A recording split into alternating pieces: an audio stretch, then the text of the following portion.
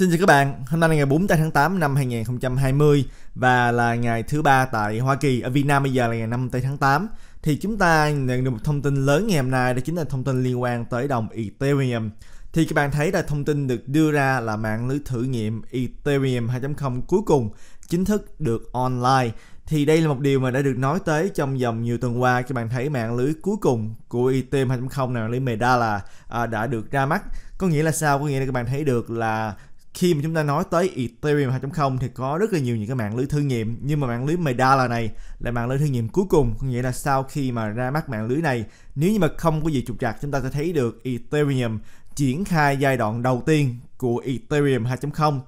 thì Ethereum các bạn cũng đã biết là trước đây là có bốn cái giai đoạn lớn và giai đoạn cuối cùng là Serenity mà bây giờ chúng ta đã đổi tên lại thành Ethereum 2.0 và Ethereum 2.0 này sẽ có 3 phần. Phần đầu tiên là phần 0, phần kế tiếp là phần 1 và phần à, kế tiếp nữa là phần 2. Các bạn thấy được là phần 0 là phần đầu tiên của Ethereum 2.0 và chỉ ra mắt khi mà chúng ta đã thành công thử nghiệm mạng lưới Medalla thì đây là một điều mà nhiều người đang trông chờ, tại vì các bạn thấy là đã nhiều tháng chúng ta nhận được thông tin là Ethereum 2.0 sẽ có trong năm 2020 này nhưng mà cuối cùng các bạn thấy là cái đây vài tuần thì lại có một số những cái sự tranh cãi trong cái đội ngũ phát triển của Ethereum À, ờ, một số người thì nói là Ethereum 2.0 có thể là đầu năm 2021 thì mới bắt đầu giai đoạn đầu tiên. Nhưng mà Vitalik Buterin người mà đồng sáng lập ra Ethereum thì lại nói là không phải như vậy. Từ đến cuối năm ông ta muốn thấy được là chúng ta có cái sự phát triển Ethereum 2.0 nhưng mà dựa theo những thông tin mà chúng ta nhận được thì phiên bản Ethereum 2.0 có thể được ra mắt trong nhiều năm nay. Nếu như mà mạng lưới Medalla này được thử nghiệm thành công và mạng lưới Medalla này là một một cái mạng lưới thử nghiệm rất là khác so với những cái mạng lưới trước đây. Những mạng lưới thử nghiệm trước đây của Ethereum là thử nghiệm không phải là công khai, có nghĩa là tất cả những cái đội mà xác nhận đều được quản lý uh, của Ethereum. Nhưng mà Bây giờ mạng lưới MEDA này là một mạng lưới công khai có nghĩa là các đội xác nhận có thể được tham gia vào bất cứ nơi nào chứ không phải là tập trung bởi những cái nhà phát triển của Ethereum. Các bạn thấy là cho tới ngày hôm nay chúng ta nhận được cái thông tin là hơn 20.000 đội xác nhận đã tham gia vào thử nghiệm mạng lưới của Medala và chúng ta cũng thấy được là có rất nhiều những cái client có nghĩa là những cái à, đội mà làm những cái phần mềm quản lý Ethereum trong đó bao gồm uh, Prismatic Labs hay là còn gọi là Prism hay là Changsafe Lowstar hay là Pegasus TQ hay là Stardust Nimbus và Sigma Prime Lighthouse. Đây là những cái client mà đang tham gia vào để mà thử nghiệm cái mạng lưới à, thử nghiệm Medalla này. Và Ethereum 2.0 là một trong những điều lớn nhất đang thực hiện là đổi mạng lưới của Ethereum từ mạng lưới Proof of Work nghĩa là mạng lưới đào qua mạng lưới Proof of Stake có nghĩa là một cái mạng lưới các bạn có thể dùng tiền của mình để mà thế chấp trong mạng lưới và dùng số tiền đó à, để mà có được những cái cổ phần những cái stake. Sau đó chúng ta có thể nhận được lợi nhuận khi mà à, giải quyết những cái giao dịch thành công. Thì các bạn thấy được là à, đây là một cái điều mà rất là lớn trong mạng lưới của Ethereum. Tại vì chúng ta thấy gần đây thì mạng lưới của Cardano cũng đã thành công triển khai cái thế hệ mới như là cái thế hệ Solid thì bây giờ đã có rất nhiều những cái đội staking đã bắt đầu đã tham gia vào Cardano. Và có nhiều bạn cũng hỏi Thuận là bây giờ tham gia vào staking Cardano thì như thế nào? Thì Thuận vẫn đang tìm hiểu và đội của Thuận cũng sẽ nói chuyện với một số những cái đội staking để xem coi là tình hình là như thế nào. Và đội nào thì tốt hơn Thuận sẽ có một số những cái thông tin chi tiết hơn để mà chia sẻ với các bạn về việc liên quan đến staking Cardano. Thì Ethereum cũng vậy, các bạn thấy là Ethereum, nếu như mà triển khai thành công qua mạng lưới uh, Proof of Stake thì sẽ có nhiều người có thể tham gia vào staking. Mà nhiều người mà tham gia vào staking cũng đồng nghĩa là các bạn thấy là cái số lượng Ethereum đó là không còn ở trên những cái sàn giao dịch không còn được bán mua nữa. Thì các bạn thấy là sẽ làm cho một số đồng Ethereum bị giam lại trong những cái uh, đội staking đó. Và đương nhiên điều này sẽ làm à, giảm đi cái số lượng nguồn cung ở trên thị trường. Và nếu như mà các bạn thấy là nguồn cầu giữ nguyên hay mà tăng lên mà nguồn cung giảm xuống thì chúng ta sẽ thấy là cái phản ứng về mặt giá cả là giá cả sẽ tăng lên. Đây cũng là một trong những điều mà khiến cho nhiều người rất là hào hứng khi chúng ta nghe được cái thông tin là Cardano sắp sửa thành công, đưa ra cái cập nhật Shelly và cuối cùng cũng đã thành công. Tại vì nhiều người chẩn đoán là nếu như mà Cardano thực sự thực hiện được những gì mà Charles Hutchinson nói, mà cái số lượng Cardano stake nhiều thì sẽ làm giảm đi cái số lượng ADA trên những sàn giao dịch thì chúng ta thấy càng đến gần những cái thông tin liên quan tới Ethereum chúng ta có thể thấy được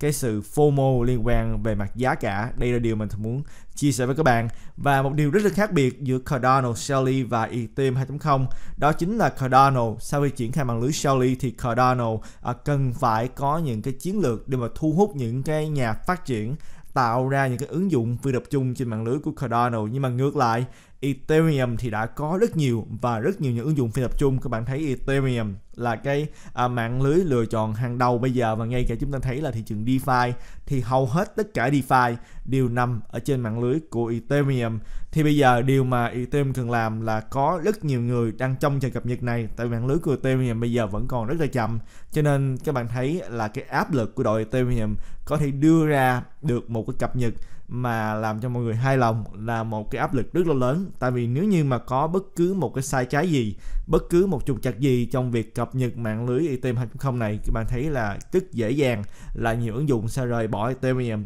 cho nên đây là một trong những cái vấn đề mà Ethereum cần phải làm thành công. Như bạn cũng đã biết là thường lưu trữ cả hai Ethereum và đồng Cardano và EDA nhưng mà cái số lượng phần trăm thường lưu trữ Ethereum thì nhiều hơn là đồng Cardano cho nên tất cả những thông tin mà thường chia sẻ với các bạn đều vì mục đích thông tin và không được xem là lời khuyên đầu tư. Cho nên các bạn cần phải tự tìm hiểu trước khi mình đưa ra một quyết định đầu tư nào. Chúng ta bây giờ hãy nói tới một cái đề tài khác cũng liên quan đến staking, nhưng mà rất là khác và thường nghĩ đây là một đề tài rất là quan trọng, chúng ta cần phải nói đến để các bạn hiểu được là tình hình bây giờ như thế nào khi chúng ta nói tới staking thì các bạn thấy là bây giờ bất cứ ở nơi nào không chỉ riêng là ở Hoa Kỳ các bạn thấy là ngân hàng cái số lượng à, phần trăm họ trả khi các bạn gửi tiền vào rất là thấp. Ở Hoa Kỳ bây giờ các bạn thấy là lãi suất cực kỳ thấp rất là tốt đối với những người mà cần đi mượn tiền nhưng mà rất là xấu đối với những người mà để dành tiền ở trong ngân hàng. Tại vì bây giờ các bạn gửi tiền ngân hàng ở Hoa Kỳ là hầu như không có lợi nhuận nào. Cho nên chúng ta sẽ thấy là nhiều người mà họ có tiền họ sẽ tìm đến những cái mục đầu tư khác mà có thể đưa được lợi nhuận cho họ và các bạn thấy là một danh mục đầu tư đó hoàn toàn có thể là staking. Tuy là bây giờ chúng ta thấy là nhiều mạng lưới staking thì nói là như là Cardano nói là staking thì lợi nhuận chỉ khoảng là 4,6% trừ đi lợi nhuận mà cái người mà đứng ra để mà lập cái pool staking đó thì các bạn có thể được lợi nhuận nhỏ hơn. Nhưng mà dù sao đi nữa cái số lượng phần trăm đó vẫn cao hơn rất là nhiều so với các bạn để vào trong ngân hàng của Hoa Kỳ nhiều khi nhiều ngân hàng chỉ cho các bạn có là 0,006% một năm cho nên nhiều người bây giờ đang nhìn vào nhiều cái thị trường khác nhau, nhiều mảng đầu tư khác nhau để có được lợi nhuận. Và các bạn thấy là những mảng đầu tư như là chúng ta thấy là đầu tư vào chứng khoán thì có nhiều nguy hiểm, cho nên nhiều người không thích. Chúng ta thấy là đầu tư vào trái phiếu thì công trái phiếu, cái phần trăm tiền lời cũng rất là ít. Và nếu như đầu tư vào trái phiếu tư nhân thì nguy hiểm cao hơn. Và các bạn thấy là đầu tư vào những mảng đầu tư khác như là vàng thì chúng ta sẽ thấy được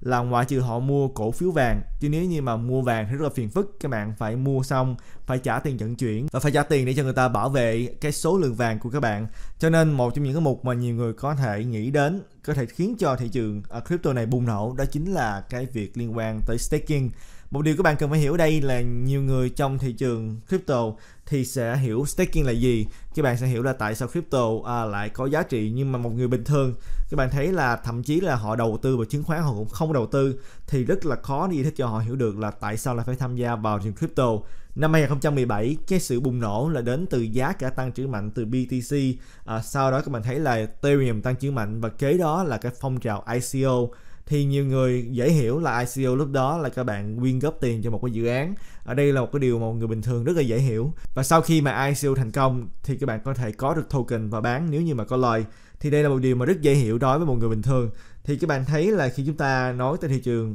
DeFi thì DeFi bây giờ tuy là một cái thị trường mà đang bùng nổ nhưng mà các bạn giải thích DeFi với một người bình thường thì cũng rất là khó. Tại vì các bạn thấy là DeFi bây giờ những người tham gia là những người ở trong thị trường crypto. Họ biết lập trình uh, họ biết trade thì họ tham gia vào thị trường DeFi hay là họ biết những cái chiến lược như là DeFi uh, yield farming có nghĩa là họ uh, sử dụng cái số tiền token của họ họ thế chấp vào một mạng lưới lấy cái số tiền được thưởng từ mạng lưới đó để mà bán lấy lời. Đây là những cái cách mà được làm trong thị trường DeFi để kiếm lời hiện tại. Thực sự không phải là những cái cách mà dễ dàng giải thích cho một người mới cho nên staking thì dễ hiểu hơn. Một người có thể liên tưởng là staking thì có nghĩa là các bạn gửi tiền vào cho một một mấy cái mạng lưới và các bạn sẽ nhận được cái phần thưởng uh, mỗi một lần mà mạng lưới hoạt động. Các bạn thấy đây là một cách giải thích dễ dàng hơn. Thì chúng ta thấy được là một trong những cái điều mà cần phải được giải quyết đó chính là thuế sẽ tính như thế nào. Tại vì chúng ta ờ, nhìn vào nếu như mà staking mà được phần trăm giả sử các bạn là được lời 4% một năm nhưng mà nếu như các bạn phải đóng thuế khi mà các bạn nhận được phần thưởng từ cái khối có nghĩa là khi mà mạng lưới à, có được cái phần thưởng chia cho các bạn thì các bạn phải đóng thuế sau đó các bạn à, phải đóng thuế một lần nữa. Nếu như mà cái token các bạn cầm trong tay mà lên giá thì sẽ đóng thuế nhiều lần sẽ khiến cho nhiều người rất là nhức đầu về cái vấn đề thuế cũng như là sẽ làm giảm đi phần trăm lợi nhuận cho họ. Điều này có thể làm cho nhiều người không còn hứng thú để mà tham gia vào thị trường staking nữa. Và vì cái lý do đó thì tuần vừa rồi bốn nhà lập pháp đã viết một cái lá thơ cho cơ quan thuế Hoa Kỳ có nghĩa là IRS à, vào ngày 29 tháng 7 họ yêu cầu là cơ quan thuế Hoa Kỳ đảm bảo là những người tham gia vào staking không phải đối mặt với những cái khoản nợ thuế khi mà họ nhận được phần thưởng từ cái khối trước khi mà bán token. Có nghĩa là khi mà họ nhận được cái phần thưởng đến từ staking thì không trả thuế chỉ khi nào họ bán lúc đó họ mới trả thuế thì lá thư này được gửi tới ủy viên IRS đó chính là George Rattich à, luật sư trưởng Michael Desmond và trợ lý Bộ trưởng Chính sách thuế David Carter và được ký bởi đồng chủ tịch Đại hội Blockchain Caucus là David Swiker, Bill Foster, Storm Emmer và Darren Sottle. Thì cái lá thư này là chủ yếu muốn cục thuế của Hoa Kỳ có nghĩa là IRS phải định nghĩa phần thưởng đến từ staking là phải đánh thuế như thế nào các bạn thấy là đây là một trong những cái vấn đề mà cũng không gì gọi là lạ tại vì uh, blockchain thì quá mới. Những cái luật thuế đã được viết từ nhiều năm thậm chí là các bạn thấy là chỉ mới gần đây chúng ta mới hiểu được là IRS thì có nhận định như thế nào về cái thuế khi mà người ta đào ra đồng BTC cho nên chúng ta thấy là những cái bộ luật thì đã quá lỗi thời so với lại cái công nghệ mới bây giờ. Bây giờ là chúng ta cần phải có được những cái luật mới liên quan tới staking. Thì trước hết mà muốn đánh thuế staking thì chúng ta phải hiểu được staking là gì thì trong cái lá thư này là muốn IS nghĩ tới là phần thưởng staking thì định nghĩa như thế nào? Thì có bốn định nghĩa mà đã được à, đề cập tới. Thứ nhất là chúng ta có thể coi như là staking cái phần thưởng mà chúng ta stake. Thì phần thưởng đó giống như là cái thu nhập làm việc của một người tham gia staking. Thì nếu như vậy thì phải đóng thuế theo thu nhập có nghĩa là đây là một cái thu nhập đến từ việc chúng ta tham gia vào staking. Thứ nhì là chúng ta có thể coi à, phần thưởng staking như là thu nhập thụ động của một cái loại tài sản như là các bạn có nhà cho thuê hay là các bạn có tiền lời từ trái phiếu. Nếu như vậy thì phải đóng thuế theo thu nhập thụ động. Và thứ ba nếu như mà thu nhập uh, từ staking cũng như là thu nhập từ cổ tức như là các bạn lưu trữ uh, cổ phần thì các bạn được cổ tức. Thì nếu như mà chúng ta coi thu nhập staking như là thu nhập cổ tức uh, đến từ chứng khoán nếu gì thì phải đóng thuế như là thu nhập cổ tức và thứ tư chúng ta có thể coi staking như là thu nhập chủ động. Có nghĩa là khi chúng ta đưa tiền vào trong mạng lưới staking thì thật ra cái người tham gia à, staking họ phải tạo ra những cái khối tương tự như là người trồng cây à, phải tạo ra cây tạo ra quả. Những người kinh doanh khoáng sản chăn nuôi và những tác phẩm nghệ thuật. Các bạn thấy đây là những cái mảng đầu tư mà chúng ta cần phải tham gia vào chủ động để mà tạo ra một cái gì đó. Và nếu như vậy thì phải đánh thuế khi được bán chứ không phải là lúc tạo ra có nghĩa là đây là một cái định nghĩa rất là quan trọng. Ý những người này nói là chúng ta không thể coi như staking là lợi nhuận đến từ việc các bạn gửi tiền vào cho ngân hàng được lợi nhuận hay là từ việc các bạn mua cổ phiếu được cổ tức hay là từ việc các bạn à, mua nhà cho mướn các bạn cần phải xem staking như là một cái số tiền các bạn dùng để mà đầu tư vào một cái mảng đầu tư nào đó và các bạn cần phải bỏ công sức ra để làm một gì đó. Như là người ta nói tới là các bạn à, bỏ công sức ra để mà trồng cây các bạn có quả các bạn lúc đó mới bán thì lúc đó thì mới đóng thuế. Trồng ra cây trồng ra quả thì đâu có đánh thuế chỉ khi nào các bạn bán thì lúc đó mới đánh thuế. Thì cũng tương tự chúng ta phải nhìn vào staking là một cái công việc gì đó người ta cần phải tạo ra những cái khối. Thì khi mà tạo ra những cái khối mà có được phần thưởng thì không hề đánh thuế. Chỉ khi nào mà người ta bán những cái token đó thì mới được đánh thuế. Cho nên những người này nói là bây giờ chúng ta hãy nghĩ đến là đánh thuế một lần thôi, chứ không phải là đánh thuế hai lần như là tạo ra cái khối được đánh thuế. Sau đó thì khi mà bán có lời lại bị đánh thuế thêm một lần nữa. Thì bạn thấy được đây là một trong những điều mà rất là khác biệt so với chúng ta nói tới việc mà đào bitcoin tại vì à, cục thuế của Hoa Kỳ đã nói là khi chúng ta đào Bitcoin thì đào ra Bitcoin là sẽ bị đóng thuế chứ không phải là khi chúng ta bán mới đánh thuế. Nhưng mà những cái nghị sĩ này thì nói là điều đào Bitcoin với lại staking rất là khác biệt với nhau. Tại vì các bạn thấy là hệ thống đào khi mà, mà các bạn đào ra thì những hệ thống như là Bitcoin thì các bạn thấy đào cái coin mới ra đây là những cái phần thưởng đến từ những cái khối. Nhưng mà không giống như là staking. Tại vì giống như là trường hợp như là Bitcoin đi thì tổng số lượng Bitcoin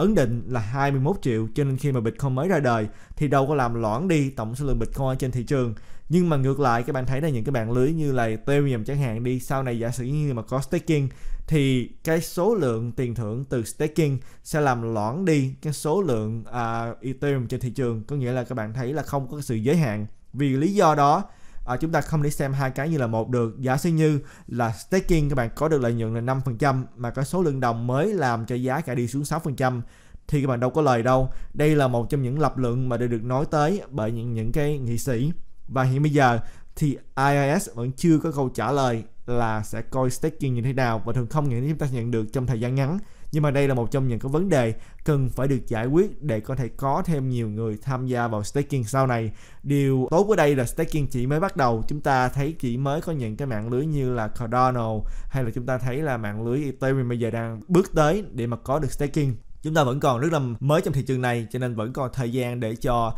những cái nhà lập pháp, để cho những cái người làm trong cục thuế của Hoa Kỳ có thể đưa ra quyết định là staking sẽ đánh thuế như thế nào. Nhưng mà đây là một điều mà cần phải được giải quyết trong thời gian tới đây để mình thu hút thêm người mới vào trong thị trường này. Thì ngoại trừ những điều đề ra, thì thường có một cái thông tin liên quan tới cục dự trữ liên bang của Hoa Kỳ, nghĩa là Fed, mà thường muốn chia sẻ với các bạn. Nhưng mà trước khi mà chúng ta nói tới cục dự trữ liên bang của Hoa Kỳ, thì tất cả, như đời thường đã chia sẻ, chỉ vì mục đích thông tin và không được xem là lời khuyên đầu tư. Và nếu như mà các bạn thích cái video này, hay là các bạn thích những cái video tương tự, các bạn đừng quên nhấn cái nút like và đăng ký vào kênh để giúp kênh được tiếp tục phát triển và nếu như mà các bạn muốn theo dõi Thuận Capital trên những cái mạng xã hội để nhận được những cái thông tin mới nhất thì các bạn có thể bấm vào cái link ở phía dưới video này để tìm thấy những cái link chính thức như là link Telegram, Facebook, link Twitter. Và nếu như bạn là một cái trader thì trước khi mà bạn tham gia một sàn giao dịch nào các bạn có thể bấm vào cái link ở phía dưới để tìm hiểu những cái ưu đãi dành riêng cho cộng đồng của Thuận Capital như là ưu đãi liên quan tới sàn margin FX hay là sàn margin Bybit hay là sàn Binance và sàn Coinbase những chi tiết nằm ở phía dưới video này.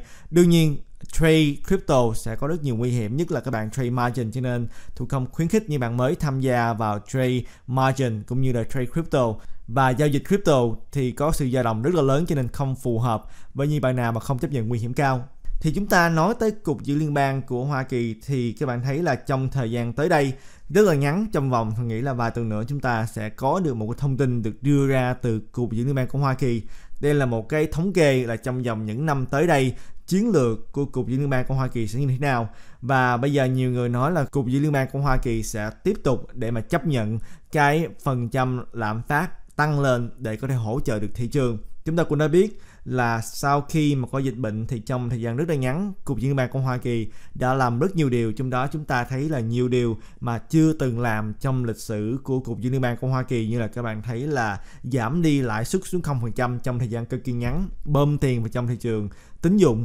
à, mua lại những cái cổ phiếu thế chấp bất động sản bơm tiền vào trong những cái trái phiếu của công ty tư nhân. Đây là những điều mà các bạn thấy là chưa từng xảy ra trước đây và nếu như đã có cũng không xảy ra ở cái mức độ mạnh cho đến thời điểm bây giờ. Và một trong những điều mà chúng ta thấy là rất đặc biệt lần này nữa đó chính là liên quan tới lạm phát. Tại vì bây giờ thì Fed nói là cái quan trọng nhất bây giờ là kinh tế phải được hồi phục lại, người dân phải có quan việc làm, cho nên việc lạm phát là không phải là một điều mà Fed à, sẽ quan tâm đến. Và các bạn cũng đã biết là Fed đi theo một cái chiến lược monetary system, có nghĩa là một cái chiến lược tiền tệ gọi là modern monetary theory có nghĩa là cái chiến lược tiền tệ hiện đại trong cái luật chiến lược tiền tệ hiện đại này thì việc liên quan tới lạm phát không phải là việc mà cục dự liên bang quan tâm đến thì các bạn thấy là Fed đi theo chiến lược này có nghĩa là nói chỉ cần là kinh tế phát triển chỉ cần người dân có công việc làm thì lạm phát sẽ tự được quản lý. Và bây giờ các bạn thấy là Fed đang đi vào một cái vùng mà thuần cảm thấy là chúng ta à, không biết được kết quả sẽ như thế nào. Tại vì trước đây các bạn thấy là ngay cả lúc mà dịch bệnh xảy ra thì Fed sau khi mà cắt giảm lãi suất sau khi mà đưa ra những cái chiến lược bơm tiền vào trong thị trường thì đã nói là sẽ ngưng bơm tiền vào hay là sẽ ngưng hỗ trợ thị trường tín dụng hay là sẽ tăng lãi suất khi mà cái à, số lượng người thất nghiệp trở về cái mức nào đó hay là kinh tế trở về cái mức nào đó dựa theo những cái chỉ số nào đó. Nhưng mà bây giờ là Fed hầu như là không có đưa ra bất cứ một cái điểm dừng nào nghĩa là sẽ tiếp tục giữ mức lãi suất 0% và trong nhiều cuộc nói chuyện, chúng ta cũng đã biết là trong vòng nhiều năm tới đây, Fed sẽ đưa ra cái chiến lược là lãi suất cực kỳ thấp để mà kích thích nền kinh tế và bây giờ là Fed nói là tuy là chúng ta à, hoàn toàn có thể thấy được lạm phát sau này nhưng mà ở thời điểm hiện tại lạm phát chỉ khoảng chừng là một phần trăm. Và các bạn cũng biết tại sao lạm phát bây giờ lại quá thấp mặc dù là tiền in ra rất là nhiều. Tại vì giờ người dân là không có sử dụng tiền người ta để tiền vào trong ngân hàng người ta sợ là không biết là ngày mai sẽ ra sao người ta sợ là không biết ngày mai mình có bị à, công ty sa thải hay là không. Không biết à, dịch bệnh kế tiếp như thế nào không biết khi nào mới có được vaccine cho nên người ta phải thủ. Đó là lý do tại sao mà người ta không ra đường để mua sắm và người ta cũng lo ngại về dịch bệnh cho nên không có đi mua sắm khiến cho nền kinh tế không có hồi phục lại được và cũng khiến cho là cái số tiền không có đổ vào trong thị trường à, mua sắm khiến cho những cái giá cả của những cái mặt hàng không tăng lên. Cho nên lạm phát là bây giờ rất là thấp nhưng mà sau này khi mà có vaccine khi mà mọi người đã an tâm hơn thì cái số tiền mà không được sử dụng trong thời gian này sẽ bị đổ vào trong những cái sản phẩm những cái dịch vụ khiến cho lạm phát xảy ra. Và Fed thì hoàn toàn hiểu điều này. Các bạn thấy là chủ tịch Jerome Powell cũng đã đề cập đến một số lần mình thường đã chia sẻ trên channel này. Nhưng mà bây giờ thì Fed không có nói là cái mức cao nhất à, về lạm phát sẽ là bao nhiêu. Ông ta nói là bây giờ là cứ để lạm phát và chúng ta sẽ coi coi tình hình như thế nào tại vì quan trọng hơn hết là người dân phải có công việc làm à, là nền kinh tế phải hồi phục lại. Và nhiều người cho là Fed có thể là chấp nhận cái phần trăm lạm phát khoảng chừng là 2 4 phần trăm cao hơn là cái số phần trăm lạm phát. Các bạn thấy là bình thường ở Hoa Kỳ thì Fed thường là muốn lạm phát là dưới 2% nhưng mà bây giờ là Fed không có đưa ra một cái chỉ số nào đây là một điều mà cực kỳ nguy hiểm nhiều người nói là đây là một cái con đường mà có thể là một đi không trở lại tại vì lạm phát không có giống như là các bạn nghĩ chúng ta không thể nào mà dễ dàng kiềm chế nó không phải là đi từ à, một phần trăm lên 2%, lên 3%, lên 4% mà lạm phát có thể là đi từ 1% lên 2% rồi lên 5% rồi lên 10%. Nó có thể có sự tăng trưởng mà không quản lý được. Cho nên nhiều người bây giờ thì nói là Fed có thể quản lý cái số phần trăm mà Fed đưa ra cho ngân hàng mượn như là Fed Fund Rate, nhưng mà Fed không thể quản lý được cái phần trăm lạm phát. Tại vì các bạn thấy là lạm phát không thể như là Fed chỉ định là lạm phát bao nhiêu phần trăm. Khi mà giá cả đã leo thang thì các bạn thấy là giá cả leo thang sẽ leo thang rất là nhanh, có thể chúng ta không kiểm soát được. Cho nên nhiều người thì bây giờ là đang lo ngại và không chỉ riêng là những gì mình thường chia sẻ với các bạn mà các bạn thấy là thị trường đã bắt đầu đưa những, những cái dấu hiệu là họ à, nghĩ là lạm phát sẽ rất là cao. Tại vì các bạn thấy chúng ta nhìn vào thị trường vàng đi thì chúng ta sẽ thấy được là cái giá vàng đã có cái sự tăng trưởng rất là nhiều. Chúng ta thấy là hôm nay vàng à, một ounce vàng đã là 2034 đô và chúng ta cũng thấy ngoài chiều vàng ra thì Bitcoin cũng đã có có cái sự tăng trưởng. Nhiều người bây giờ thì họ không muốn giữ tiền mặt mà họ muốn giữ tài sản nhất là những người mà đang đầu tư thì các bạn thấy đây là một trong những gì mà đang xảy ra. Chúng ta thấy vàng tăng lên, thì đương nhiên là có người đổ tiền vào trong vàng, cho nên vàng mới tăng lên. Và tại sao như vậy? Tại vì họ sợ là sau này lạm phát sẽ không quản lý được. Và như này tôi đã chia sẻ nhiều lần trên channel này, lạm phát sẽ là một trong những cái yếu tố dẫn đến là thị trường crypto sẽ có cái sự tăng trưởng, nhất là những cái loại tài sản mà có giới hạn như là BTC thì chúng ta nhìn vào tình hình thị trường ngày hôm nay thì các bạn thấy là BTC hôm nay đi xuống nhẹ xuống 0,21% ở mức là 11.230 Ethereum thì các bạn thấy đi hàng ngang mặc dù chúng ta nhận được cái thông tin liên quan đến cái mạng lưới thử nghiệm Medalla đã được phát hành nhưng mà hôm nay lại đi hàng ngang ở mức là 389 vẫn còn rất là cao. Các bạn thấy được là cuối tuần qua Ethereum phá 400 đô bây giờ là vẫn xoay quanh cái mức đó 389 đô. XRP xuống 4,38% sau khi tăng mạnh. Và các bạn thấy là thị trường thì có một số đồng nhỏ tăng lên à, nhất là đồng link. Các bạn thấy là đồng link đã có sự tăng trưởng rất là nhiều. Nhưng mà nào à, mà đầu tư vào đồng link thì cũng muốn chúc mừng các bạn tại vì đồng link đã có cái sự tăng trưởng rất là mạnh. Nhưng mà nào mà không rành thì đồng link là một cái token trên mạng lưới của Ethereum ERC20 token. Và cái mạng lưới đồng link này chủ yếu là để dùng để mà kết hợp những cái tài liệu mà không nằm trong blockchain tài liệu ở hiện thực tài liệu ở cái đời thực để mà đưa những tài liệu đó kết nối với lại mạng lưới của blockchain để có được cái hiệu ứng tốt hơn. Đây là chúng ta nói đơn giản về đồng link. Chúng ta đổi qua cái à, tình hình ngày hôm nay so với lại BTC chúng ta đang nhìn vào là so với lại đồng USD thì so với lại BTC thì các bạn sẽ thấy được là Ethereum thì vẫn có sự tăng trưởng so với BTC một số những đồng lớn cũng có sự tăng trưởng nhưng mà hôm nay thì các bạn thấy là có đồng lên có đồng xuống à, và đây là những cái thông tin mà thường muốn đem đến cho các bạn trong video ngày hôm nay Thuận hy vọng là các bạn nhận được nhiều giá trị trong video này và Thuận sẽ hẹn gặp lại các bạn trong video kế tiếp. Tạm biệt các bạn.